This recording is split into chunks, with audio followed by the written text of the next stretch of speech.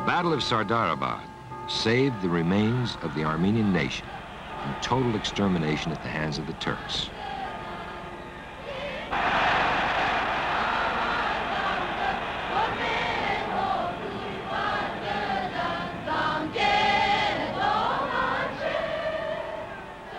This was a singular victory without outside help and against overwhelming Turkish forces. It enabled the Armenians to establish the Republic of Armenia on May 28, 1918.